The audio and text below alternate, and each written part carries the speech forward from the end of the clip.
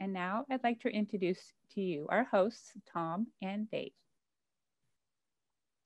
Hello, um, I'm David Carter. I'm the STEM training director for Vernier, and I'll be helping out with this workshop. Um, I've been using Vernier products for over 30 years. Uh, I got my start when I ran the instructional physics labs at the University of Mississippi and using early Vernier products a long, long time ago. So I've taught college physics, taught middle school, done a lot of uh, teacher workshops over the years. So that's who I am. Uh, I'll let Tom introduce himself. Hi, uh, Tom Smith here. I am a uh, part of the technical support team here at Vernier. We uh, are the people who answer the phone when you call up with a question or a problem to solve.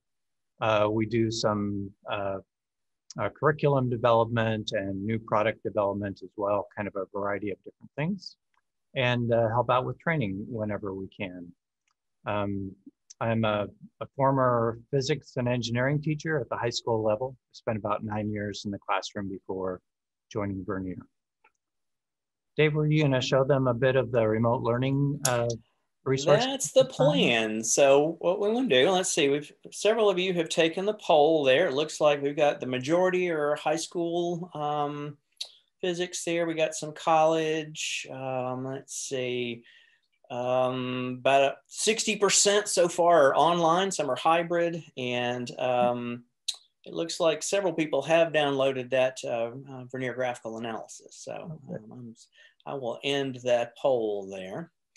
Um, and um, so let me, uh, do this. Um, so what I would like to do is we're going to start off with just a, a, quick sharing of a screen from our website that talks about some of the um, resources that we have for remote learning.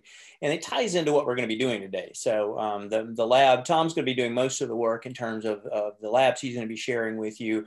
But I wanted to show you where those come from and, and those resources. And so that's what we're going to be doing now. So what I want to do is share um, the the website there.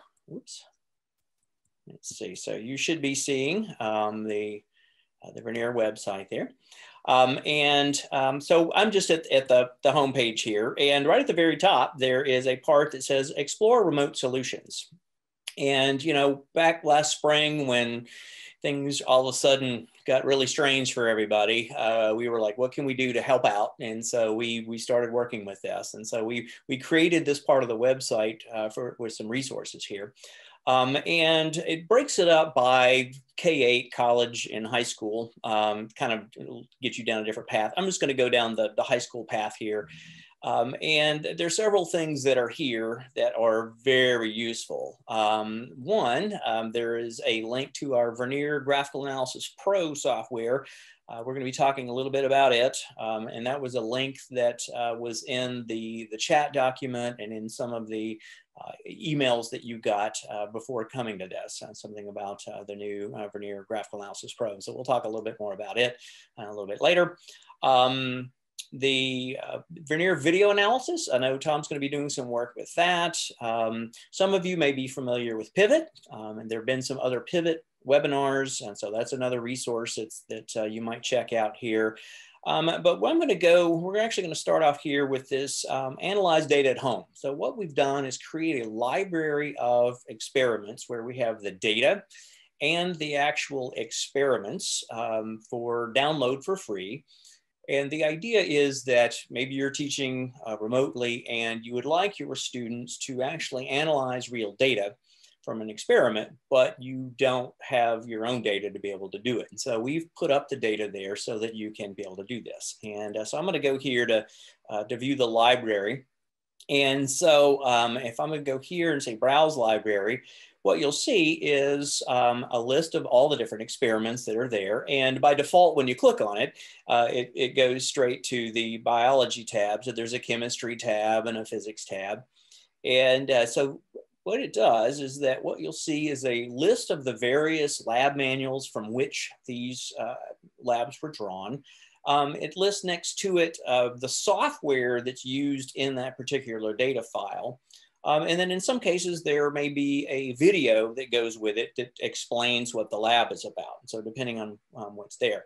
Now you can actually download all of, of this as a big document if you want to, or if you just go and you choose the, the lab you want to look for, uh, you can actually go and, and, and choose it from that, that particular list though. So I know that like for today, um, we are going to be doing, um, Tom's going to be starting off with, with experiment 20 from our Physics with Vernier book. It's the centripetal um, motion on a turntable. And uh, so if we click there, what it does is it takes you to a, a Google Drive where you can download um, and the labs there. And uh, so you know, again, what you get are the data files for that particular lab based on the software. Now, we're going to be doing this in using the graphical analysis software. And most of you'll, when you look at those files in that library, you're going to see that the majority of them actually are for graphical analysis because it's a free, it's free app. So you can download that. And then you also get the doc files for the lab. So it's actually part of the manual. So you can actually download the manuals and, um, and it is a doc file. So you can even modify it if you wanted to, but that's what you're getting there. Um, and uh, so it's a really nice resource. And there are, I'm not sure, I know there's over 300. I'm not sure the, the total number now, but uh, there are lots of different files there. And they're going to be available for some time. That's been a question for people who've asked, like, how long is this going to be available? Because it is free. Um, you know, as long as it needs to be. Um, you know, as we're running virtual and all of that, we want to make sure that uh, we've got that there. So, um, and so that's where these things are coming from. Um, and we've got that. So um, let's see here. We've got a, uh, um, oh, somebody asked a question here, um, and I'm going to answer it now. So somebody's asking about um, putting uh, graphical analysis on Chromebooks, um, uh, there's really not a problem with putting it on a Chromebook. So graphical analysis, it's available for five platforms, so Mac and PC, iOS, Android, and Chromebook. Um, and so it is a, it goes right on the Chromebook. Um, and so it, it works there just fine because uh, basically, it, you know, it, it is designed to work on all of those different platforms. Um, and as long as the device has a modern browser on it, then that's the way it works. And so, um, you know, I guess the issue might be if your school had something set up where they don't allow the, you know, the students to install a particular app without permissions or something like that. But that's the, other than that, there's really not a, a problem with that. So. Okay, well, I'm Dave, do... I, let me interject here for a second. Yeah. Um, and just point out that there are links to the appropriate web stores when you go to look at graphical analysis on our website. Um, that will prevent you from going to, say, the uh, the Play Store to get the app that you may you may end up with the wrong application on a Chromebook if you try to go that uh, that route. So it's always best to go to our website, go to the graphical analysis page, click on the link to the appropriate web store. Get you where you need to go. So, yep. Okay. Well, Tom, are you ready to, to take over with the, the actual physics part of this? I think I am. Let's oh. see. Okay. Well, let me stop sharing my screen so that you can take over there. Okay.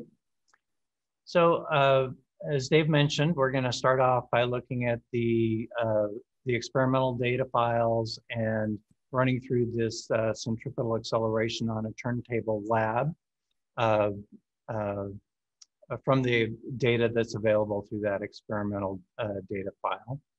I'm also going to uh, take a look at how you might enhance that learning uh, for your students by using the video analysis app and, and then look a little bit at the graphical analysis pro options for either completely doing the lab through Graphical Analysis Pro or, or just enhancing that, uh, that experience for your students. Um, for the most part, I'm going to be just sharing my screen. Uh, so I'll, uh, I'll go to that uh, here in just a second. I will note before I do that, though, that you know we're we're trying to provide you with some tools to use in this kind of strange teaching time. And I have never taught remotely before, so I, I'm giving some ideas that are not tested. And I would encourage you guys to use the, uh, the Q&A in the, uh, in the Zoom meeting to uh, provide suggestions to your colleagues out there, uh, as well as to comment on how you might use this uh, in your classroom uh, in your particular scenario. With that, let me start sharing my screen. Here, there we go. So we should be seeing uh, my 1979 vintage Technics turntable and uh, graphical analysis uh, up on the screen there.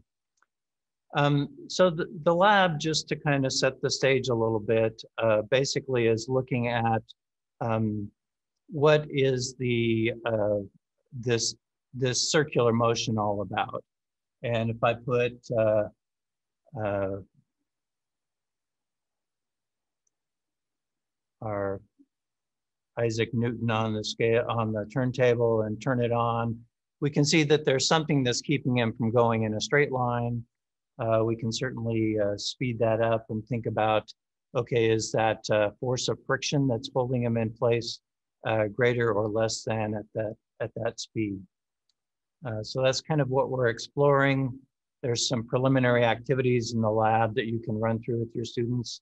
And I think uh, one of the one of the ideas I've had about how to uh, run this lab in a remote learning situation is to engage uh, to a certain degree these preliminary activities and uh, and even some of the first steps in the lab uh, as a class uh, in a Zoom setting or or whatever the platform is that your school is using, and then um, at some point, uh, you're going to uh, uh, set your kids free to go and, and complete the analysis portion of the lab on their own.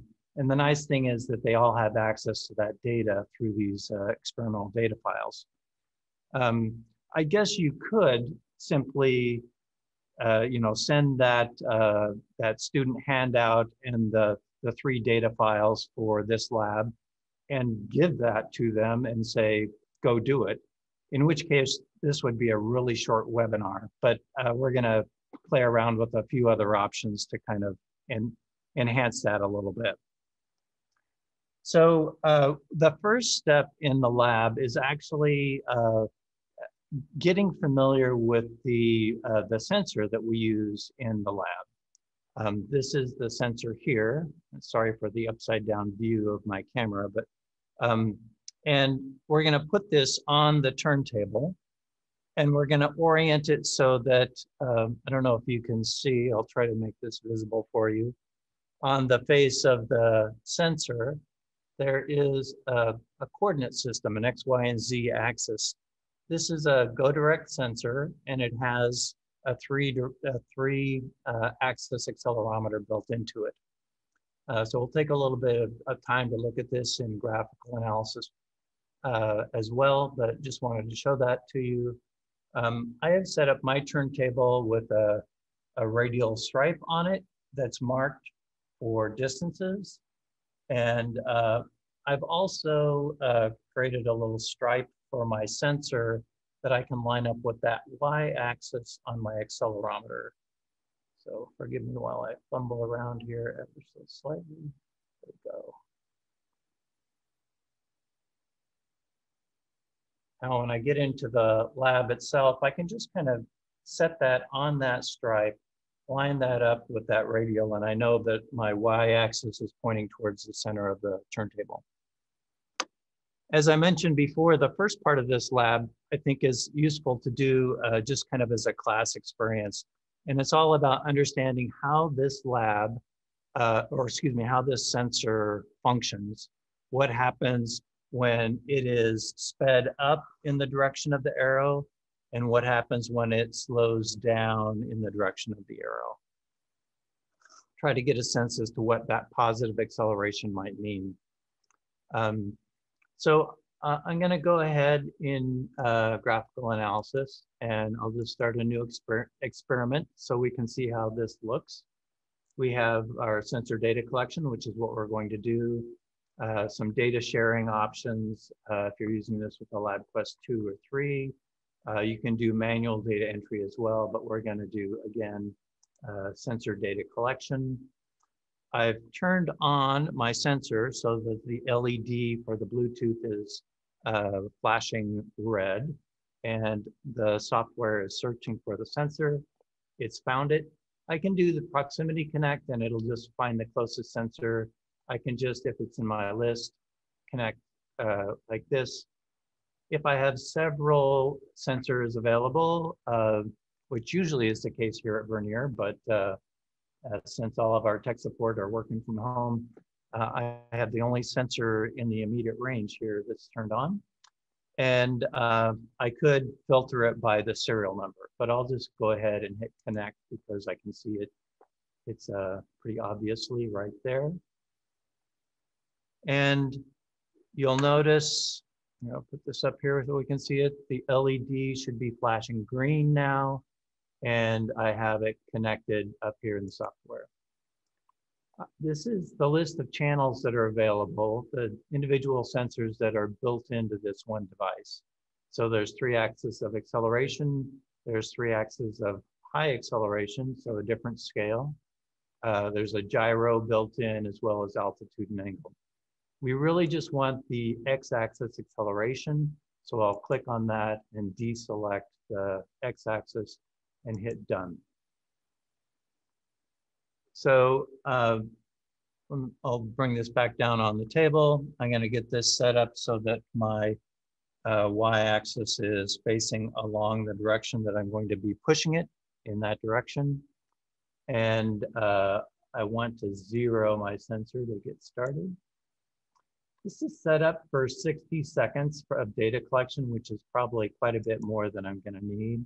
So I just clicked on the mode and I'm going to change that to, well, Rather than scroll down, I'll just select uh, six seconds. That ought to be plenty. I hit done. And now my scale is set to six seconds. I have y-axis acceleration on my axis. I'm ready to collect data. So I'm just gonna hit collect, and then I'm gonna push it and let it stop. Not crazy about that data, so let me try that again. Collect. There we see a little bit better. In the student handout, uh, there, the, the preliminary activity around this has a couple of questions. And what I've done here for this demonstration today is I've just pulled out the data table for the student uh, section and I've put it uh, just in a Word document here. So the question is when, when it's speeding up, when I've given it that shove, what direction, what type of acceleration is that? And I can see that I get uh, positive acceleration at, during that range. And when the sensor is being slowed down by uh, still moving in the positive direction, but slowed down, uh, I get a negative acceleration. So I can just put negative in here.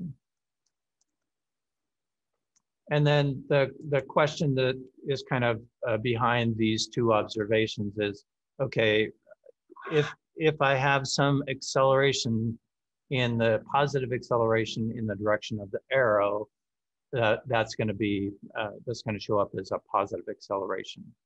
Let me say that differently. If I'm accelerating in the direction of the arrow of the y-axis, that's going to show up as positive uh, acceleration. So your students might write in here, acceleration in the direction of the arrow reads positive when speeding up. Something like that. Okay, that's really the first activity. You don't even need the uh, the data set from uh, from uh, the experimental data, but let me just show you that uh, so that you can uh, see that particular data set as well. In this case, I'm going to choose a file rather than uh, start a manual file. And I happen to have this one queued up. This is my part one here. And I'll just hit open. And you can see, again, as you pu- as you accelerate it in the positive direction, you get that positive acceleration. As it slows down, you get that negative acceleration. So a student could make this observation if they understood what was happening uh, in the experiment. Okay, um, the next part of the lab really deals with um, setting your sensor on the turntable. Again, I'm going to line it up so it's aligned with one of those dots. I know the distance there. Um, I can uh, turn on my turntable. Hopefully I have tested this out enough in advance so that my accelerometer will not fly off the turntable when I turn it on. Okay, so um, if uh, so this second part of the lab, we're going to look at what is the acceleration? Is it positive or negative? And is that acceleration, uh, does it increase or decrease uh, as you uh, uh, increase the, the speed of the turntable from 33 and a third RPM to 45 RPM? If you happen to be fortunate enough to own one a turntable that has uh, 78 RPM, you get an extra data point in that, in your table. So I'll set it at 33. And uh, let me again connect to my uh, sensor here. So I'm going to start a new experiment. Sensor data collection. It remembers my sensor. Let's just make sure I'm connected to it. That's good. And then I want to, because uh, this is not zero, I just want to click on this and zero that sensor. Okay. And now uh, we're at 60 seconds. That's probably a good uh, amount of time for this. I can always uh, uh, stop the data collection sooner if I want to. I just realized that uh, one thing that is maybe helpful for you right now and helpful for your students in the future is to increase the size of the font in this graph.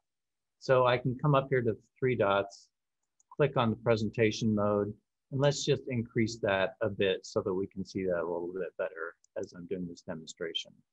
Now we have a little bit larger font in all of our axes and numbers and letters. Okay. So uh, I'll go ahead and hit the collect button. I'll just go ahead and start the motion on my turntable. Get a bit of data. While this is happening, I can come down here and hit that so I get a little bit better uh, sense. And then I'm going to increase the velocity now to the 45 RPM. Fortunately, my sensor is staying intact there. That's great. Just want to get maybe another 10 seconds worth of data. And then uh, I can turn my turntable off and let it slow down. I can stop my data collection now if I want to. There's no harm in doing that. So I'll just hit stop. Once again, I'll use the magnifying glass to kind of zoom in on the data. And then what I want to do is capture this information right here, this uh, acceleration and the acceleration over here uh, for these two uh, rotational rates.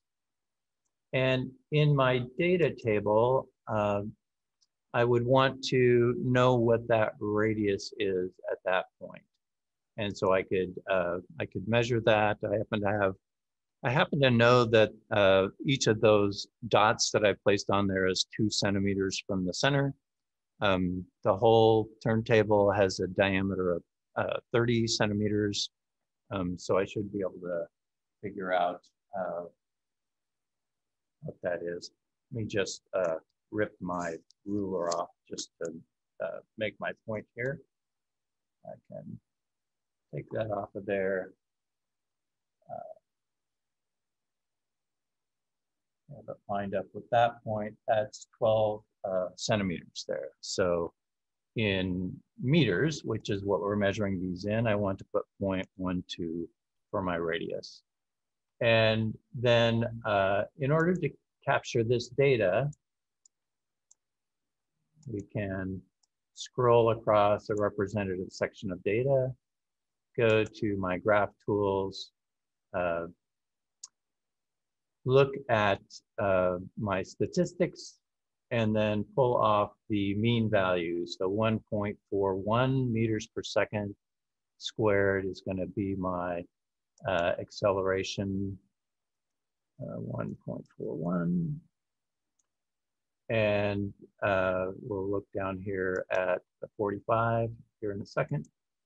So I'm going to scroll across there for a representative selection of data, view my statistics again, and we get 2.858, 2.58 here, 2.58. And we don't have a 78 setting on there. So that's that's the data collected for uh, for part uh, two.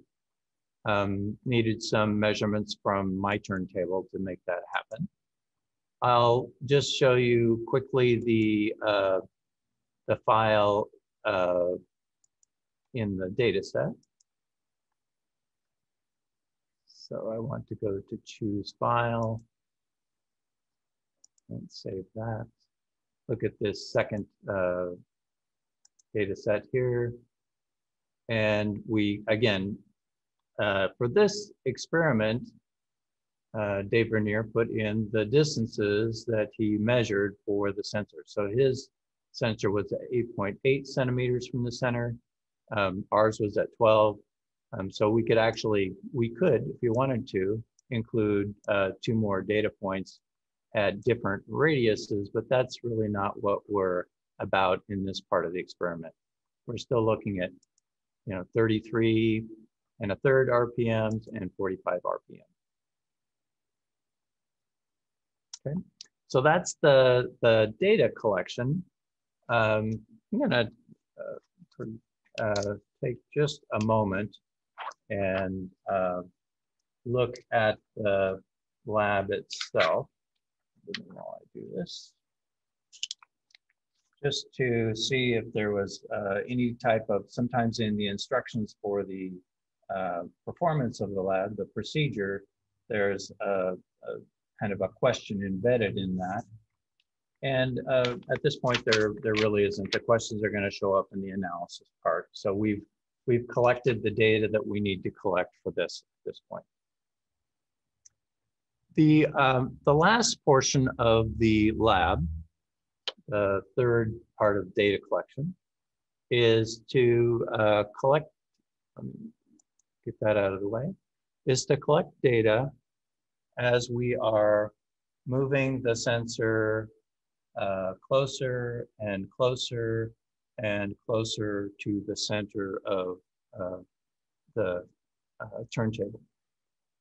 And we already have one data point at, for this. We're going to use 45 RPM for our, uh, our angular velocity for this. And then uh, we can, if I was doing this in a class, I would probably, uh, um, I would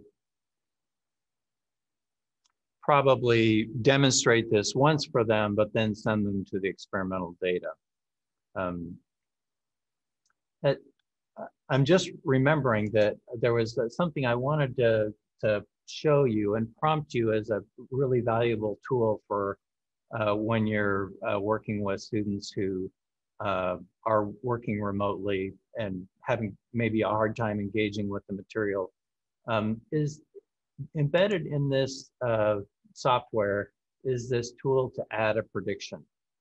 So if you think back to that first activity we did where we just pushed the sensor, you might, before you even do that or introduce that idea, um, introduce the idea, but then have them go ahead and add a prediction to their uh, to their graph. So in that case where they were pushing the sensor, they may come up with something that looks like this.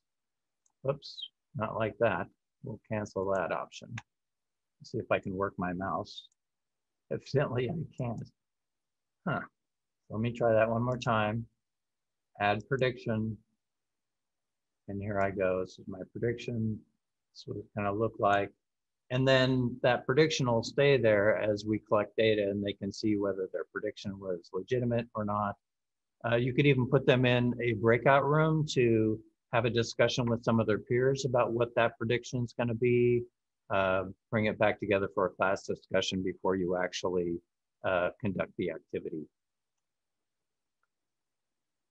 So I'll uh, cancel that for now. Um, in this, uh, so let me start a new experiment.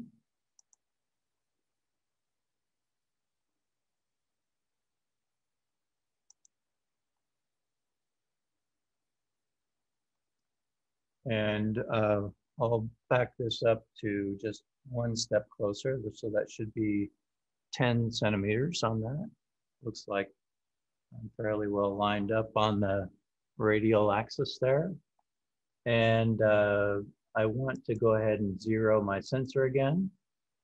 So I have a clean start. And then uh, we're just gonna collect data for probably 20 or 30 seconds is gonna be more than enough. Um, I'll hit 20 there, say done.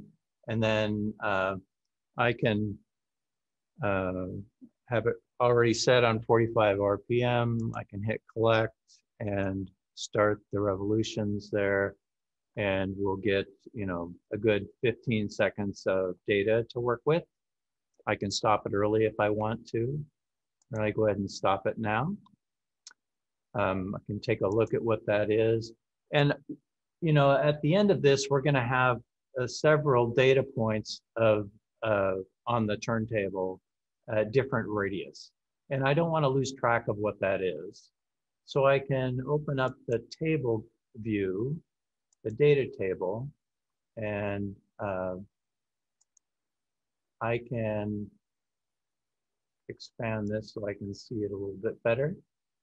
And for uh, my acceleration, I'm going to uh, change my column options so that I just rename this as uh, put a an added piece of information. This is at 10 centimeters and hit apply. And then I have that data locked in at 10 centimeters. When I go back to, I'll stop the rotation now. Um, close the data table. So I'm just looking at the graph. When I go to the next step, this is another place where it'd be interesting to have a discussion with your students. Okay, I'm closer to the point of rotation. Is my acceleration going to be greater or less than what it is now? And uh, you could just have a class discussion.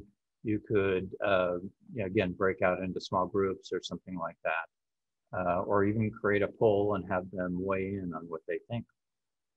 And then uh, we can, again, get ready to collect data. It's already set there. I just need to hit collect and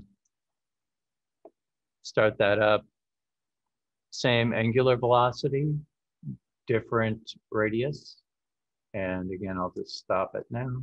Now we just have one data set here. First of all, let's go back and rename this one.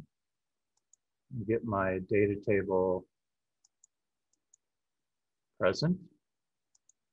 And for data set two, I guess I could have renamed the data sets too, or instead of the, but I'll just keep on what I was doing here. So this is, oh, my, my apologies. Uh, so once I've set up my Y acceleration, I really do need to, to change the data set name. So let's do that, rename the data set. We'll call that uh, uh, 10 centimeters. And then we'll rename dataset to eight centimeters. And you could go on like this just so that you have them renamed. I might actually go back in here and change this so that it's not confusing to you or me there so that it has the right title. Okay, so there we have our additional data.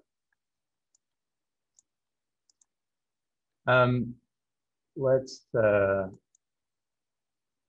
click off the data table, close the examine tool. And in order to see both of those, uh, sorry if that's making you dizzy, uh, together, I just click on the y-axis here, click on what's making me dizzy, the 8 and 10 centimeter uh, data sets, and then you can see them both. And we can even put a uh, a graph legend here so we can tell which one is which by the color of the graph. So we can see that. And again, uh, in, in the lab, I'll show this with the experimental data set. You're going to take a look at those accelerations and you're actually going to plot them against the radius to see what that relationship looks like.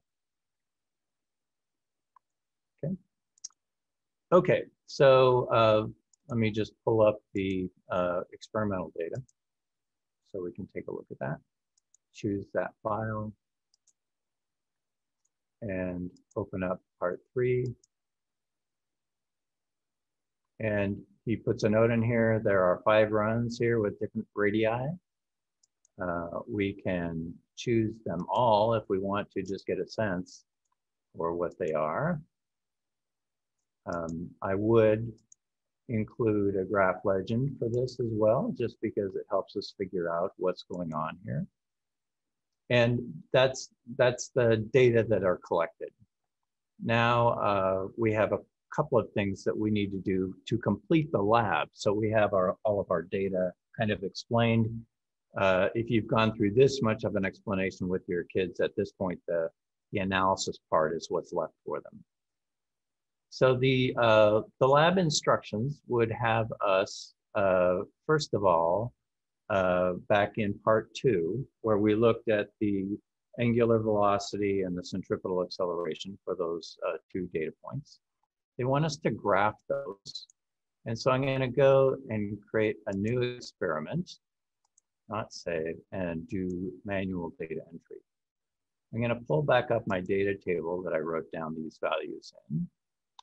And uh, we can make this a little bit larger so we can see it and bring the data table into view. Um, on my x-axis, I'm going to uh, change the title to be uh, my uh, angular speed. Put units of radians per second and hit apply. And then for my x-axis, for my, I'm going to look at the centripetal acceleration.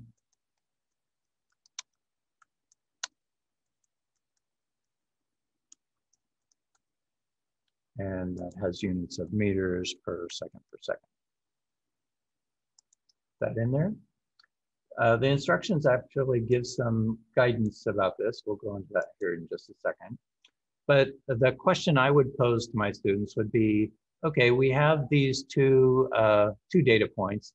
Is it reasonable to include uh, a data point of zero uh, radians per second or revolutions per minute?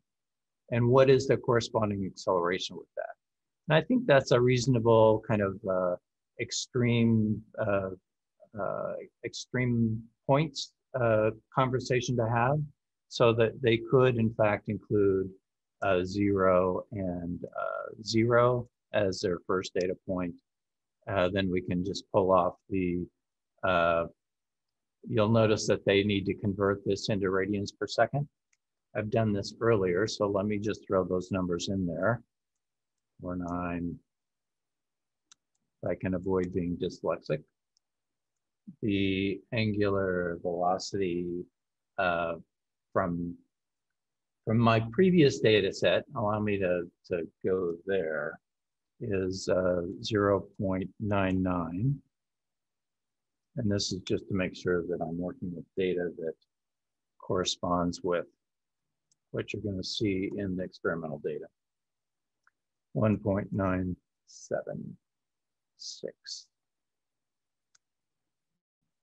So if we look at performing a, a curve fit for this, you can pretty easily see that a straight line is not a great fit. The instructions actually guide the students to square the angular speed. So, um, so let's go ahead and, and go through that exercise. In order to create a calculated column in the data set, we click here, we'll go and they'll raise to the second power. This is radians per second, uh, raised to the second power.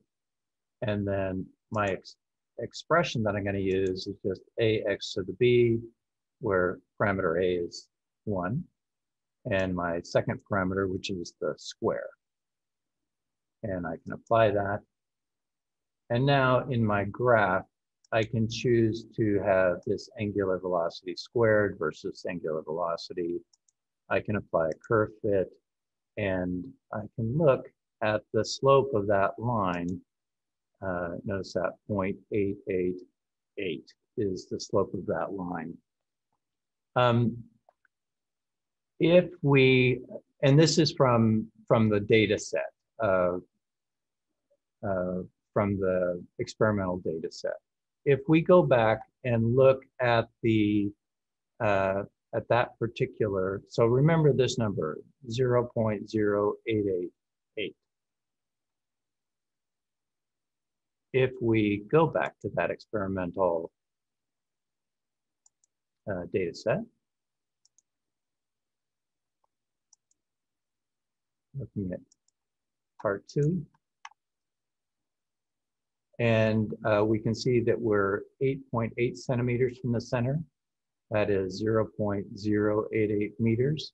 So that, that activity is designed to help them get a sense that the uh, angular, excuse me, yeah, the angular velocity is uh, proportional perhaps to the radius and to the square of the angular velocity.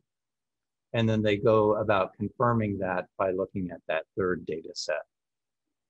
I'm uh, recognizing that we're, we're a little, uh, we're running up on some time and I wanna leave uh, some uh, opportunity to explore a couple of other uh, uh, resources that can help with this, um, with this activity. Let me pause for just a second and see if there are any questions in chat or the Q&A that need uh, addressing. Yeah, Tom, there's a question about doing it with a uh, WDSS, the Wireless Dynamic Sensor System. So I'm going to answer this live, and the answer is yes, you can do this with the Wireless Dynamic Sensor System, um, since it is an accelerometer also. And Dave, um, can you remind me, uh, are we able to connect the WDSS in uh, graphical analysis, or is it just going to be in Logger Pro that they're going to be able to do that? It's just going to be in Logger Pro. Okay. And keep in mind, there are directions for being able to do it in Logger Pro also so, in our books.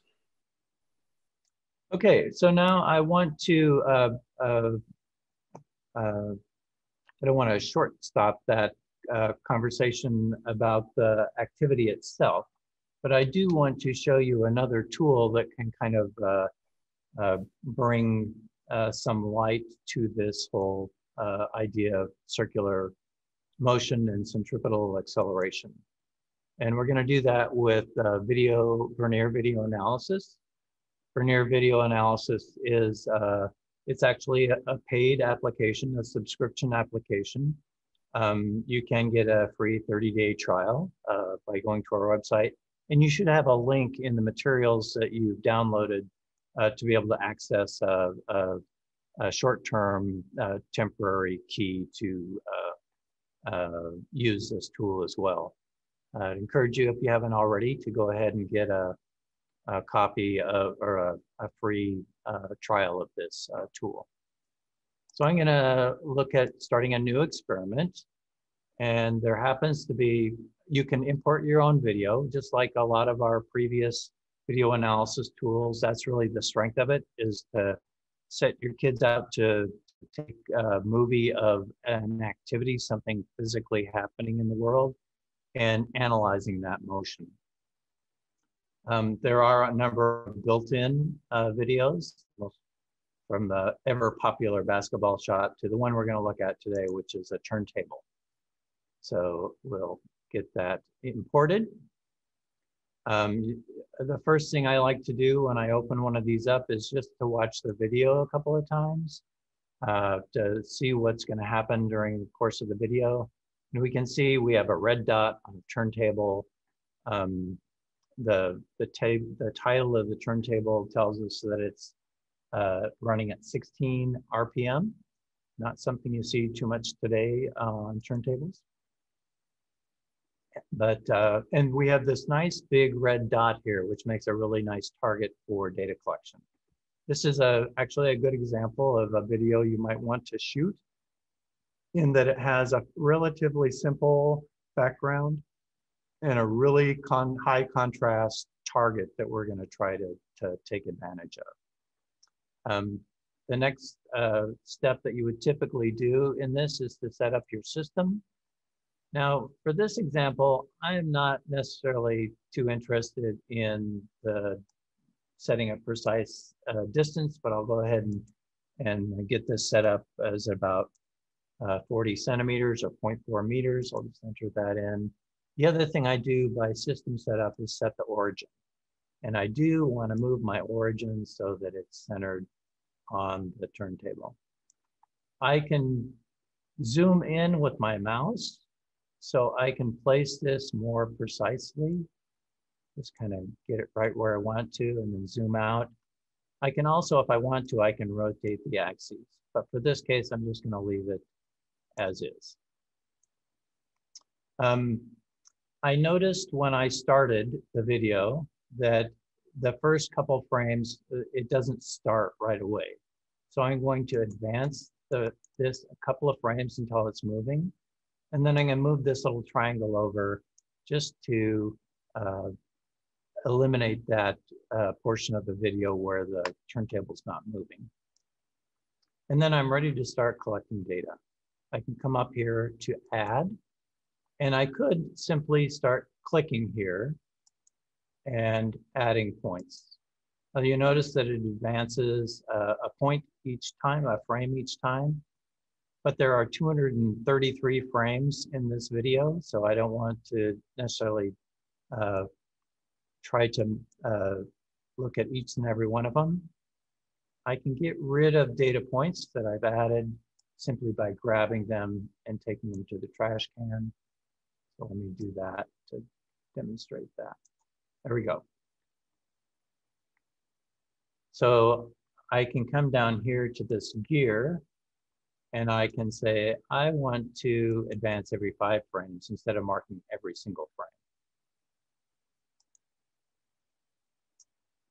The other tool that's kind of nice in a high contrast video like this is this auto tracking tool.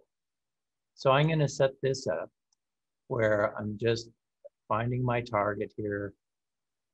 Again, I can zoom in a bit so I make sure I get this uh, centered on that circle. I can use this to kind of grab in a little bit. I can even use my arrows on my keyboard to go in and out or to move that side to side so I can get it really finely uh, tuned in there. And then the, the part that I want to look at today is this vectors tool. So we're interested in acceleration. You can look at X, Y, excuse me, the, the components and the resultant vector. You can look at just the resultant, which is what we're going to be interested in. We can look at the components alone, or you can look at none of them. Again, I'm going to choose to look at the resultant. And I'm just going to click out of that. And uh, I have this set up for auto tracking. I'll start my auto tracking. And you notice that it's generating these acceleration arrows as we go, these vectors of acceleration. I'll stop my auto tracking as we get around the circle. Uh, this is a little messy right here, so let me open this up again. And I'm gonna decrease the length of those arrows. So they're more reasonable length there. And then I'm also going to decrease the number. So instead of every vector, it'll be every other vector. I just click out of that. You can also click out of that to eliminate the tracking tool to take a look at this. And this is just a very neat, clean way to illustrate that those that acceleration actually is uh, an inward facing, a center seeking acceleration, centripetal acceleration. Um, this tool doesn't allow you to collect data, but it does allow you to, you know, to mark the data points and collect them uh, and basically uh, collect position data and then calculate velocity and acceleration data from it. No sensor uh, engagement here, but kind of a nice tool to illustrate that that acceleration actually is center seeking. The last tool that I want to uh, introduce you to, we've actually been playing around with it uh, on the edges, and that's back in graphical analysis. This happens to be a Graphical Analysis Pro. It, it's just the added feature set that uh, you can add on to graphical analysis. It is a subscription service and it gives you uh, a couple of additional features that are really quite nice. The one that I'm going to show you is this one right here. And if we have time at the end, Dave will show us another one here. But we've embedded sample experiments directly into uh, Graphical Analysis Pro that include video. So we're going to look at the same experiment that we've been working with. I'll just focus on physics with Vernier. I click back on this to get rid of the filter. And then I can scroll down through the list of physics with Vernier activities until I find uh, centripetal acceleration on a turntable, part one. Um, uh, so let me, um, I'm just trying to, I'll go ahead and download this.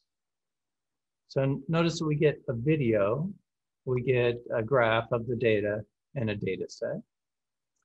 I can come up here to this button right here to enable replay.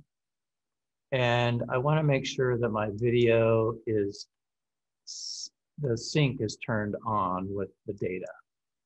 So what we've done is we've taken a video of this data being collected, this actual data being collected. We have a video of it and we can, uh, we've synced up the uh, timestamp on the video with the data so that as we play this, I can close that out and just play this back.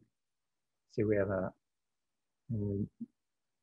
looks like our sync is a little bit off on that one. If we wanted to, we could adjust that uh, so it uh, worked out better. I actually did this where my I linked up my data set time of 1.3 seconds and my video time of uh, 3.66 seconds. And if I just click out of that and let's uh, run through that again, see if we get a little bit better correlation. There we go, that looks a little bit better. But you can see again, okay, here's my positive acceleration as it's slowing down. Here's my negative acceleration over here. So, and you can speed this up, slow it down to analyze it.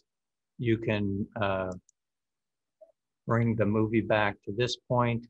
You can step through, uh, if we are starting from the very beginning again and pause it, we can just step through that data and video at the same time. So it's a nice, uh, nice combination of kind of video tools built in with uh, uh, graphical analysis with actual data collected. And let me make a, a point about something here for everybody is that, you know, some of the videos we're seeing look jerky. That's an effect of this being a Zoom meeting, um, not the actual software. So, um, you know, when you're doing it yourself on the desktop, it's actually pretty smooth. But to, when you're broadcasting it via Zoom, eh, it, it may be a little bit jerky. So just pointing that out.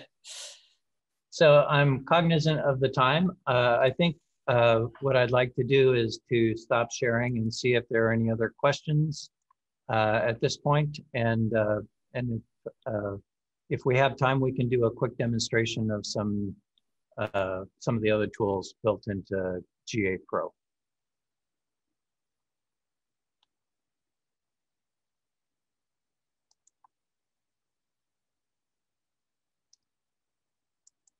Doesn't appear that there's a well, um, what about the um, the cost of video analysis? How does that work? So video analysis, uh, let me get my mouse in the right place so I can give you a good number rather than a, a guesstimate here. Um, and maybe you know the answer to this right off the top of your head, Dave. Uh, I think I'm going to be looking. It's and forty nine dollars um, for for a year, um, and and it works in a browser. Um, so again, any of those devices uh, would run it in a, in a modern browser. Um, and it actually, um, it's browser based, but it stores the app uh, within the browser. So as long as you don't eliminate your cookies, then it will allow you to use it even offline. So initially you do have to be online and there's a way that you can um, share that uh, with your students. And so you share it with them and then they're able to, they can uh, use that too. So. so the license is a site license. So all of your science teachers and other teachers can use it and they can share it with their students uh, as well. Uh, graphical analysis, just to kind of follow that up, uh, Graphical Analysis Pro is uh, currently $69 as an introductory uh, license. Um, since we've just launched this within the last couple of weeks, um, that's uh, that's a kind of a low introductory price. Again, for uh, uh, is now I'm saying this and I'm wondering, is it an an annual license that expires in June, or is it an annual license year to year? Do you know the answer off the offhand, Dave? Um, I believe it's a year-long license um, uh, for now because I know it, it's it's a new thing, so you know they've been kind of adjusting that. So uh, we may have to uh, check on that offline.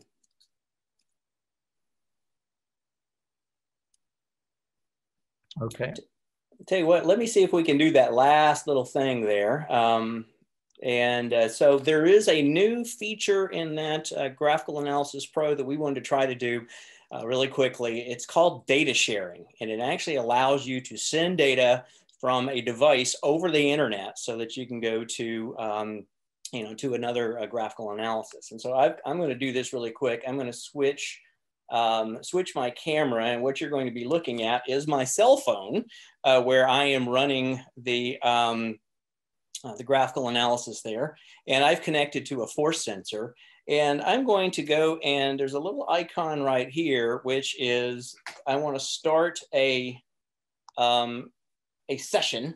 And when I do this, it gives a code right here that if that code is typed into um, graphical analysis on the other end of the internet, uh, then we can get that. So let me do this. I want to, um, I want to share a graphical analysis screen there. And uh, so what you're looking at is GA on my computer here.